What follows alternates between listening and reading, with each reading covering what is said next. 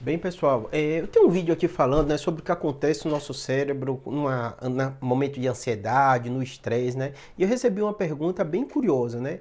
Como saber se eu tive uma crise de ansiedade. O que, que acontece? Às vezes a pessoa tem uma sensação, uma sensação ruim, uma sensação estranha que nunca teve, e ela fica preocupada daquilo ser uma crise de ansiedade e aconteceu outras vezes, né? Ou ela tem alguma outra doença e aquela doença ela ter procurar, precisar de procurar ajuda médica, né? Então vamos lá entender, né? Primeira coisa que você que entender, para uma pessoa, ou quando uma pessoa tem uma crise de ansiedade, ela vai ter dois componentes. O componente psicológico, né, que vem das sensações, das emoções, né, e o componente físico, né. Primeira coisa que você tem que entender é o que, que acontece com o nosso corpo, com o nosso cérebro, e aí você vai entender direitinho os sintomas, né. Primeira coisa, assim, quando você tem uma crise de ansiedade, seu corpo ocorre nele uma descarga muito grande de algumas substâncias, em especial a adrenalina, né. E a adrenalina, né, ela é muito liberada na hora que a gente está num estresse muito grande.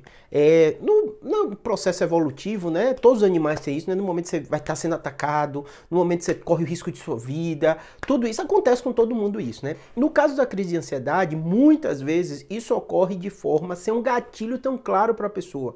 Então, subitamente, ela tem essas sensações. As sensações emocionais, né, psicológicas, né, envolvem uma sensação de que algo ruim vai acontecer, que vai morrer, que está tendo alguma doença, que vai perder o controle de si, que vai passar mal, é, que alguma coisa muito ruim está acontecendo. Então, assim, esses sintomas, eles acontecem, de um modo geral, fora de contexto. É totalmente diferente de que alguém vai te assaltar. Você tem essa descarga de adrenalina, você sente tudo isso, mas tem uma razão. Alguém está com a arma ali apontada para você, né? Ou você bateu um carro, né? Você tem aquela sensação na hora, né? E você tem essa descarga. No caso da crise de ansiedade, normalmente não está tão claro um risco de vida, um risco iminente que a pessoa está passando, mas ela tem aquela sensação, né?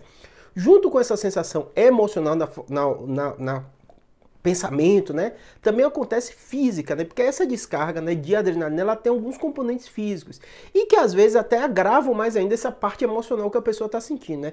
Então, o que que acontece? Né? O coração acelera, a respiração fica mais rápido, o sangue, né, flui para os locais que ele precisa na hora de um ataque, então vai para as extremidades, então muitas vezes a pessoa tem aquele frio na barriga, né? Muitas vezes a pessoa tem uma sensação é, de que é, essa sensação de que algo ruim vai acontecer vem junto com esse aceleramento do coração, da respiração, a boca fica seca, as pupilas dilatam porque você precisa estar tá observando tudo ao seu redor, né? Pode ter sudorese, então a pessoa fica suando, né? Pode ter também uma palidez, né? Porque a pessoa precisa da, da, do, do, ter a sensação daquele ataque, de que algo ruim está acontecendo. Então, esse somatório de quadros, né?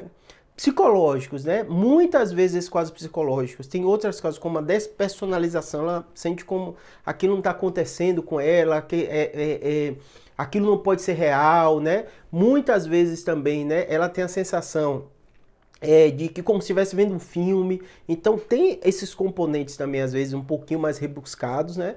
E junto com isso, essa parte emocional. E essa parte física, muitas vezes, dá a sensação, pessoal, como se ela estivesse infartando, porque o coração dá acelerada, né? Essa frio na barriga, né? Essa, também tem a sensação de que não vai conseguir respirar direito, vai parar de respirar. Por isso que o, o a síndrome ou a crise de ansiedade, né, tão séria, é tão grave, que às vezes a pessoa está em qualquer ambiente, está fazendo outra coisa, ela tem aquela sensação, né? De um modo geral, o que é difícil para quem não é médico ou para quem é leigo é diferenciar porque muitas vezes problemas físicos podem dar é, quadro semelhante. Por isso que esse paciente vão para o socorro achando que está infartando, estão tendo alguma coisa séria, que estão tendo algum quadro respiratório, né? Que estão com alguma coisa assim grave, porque ela tem essa sensação física. E o médico vai diferenciar.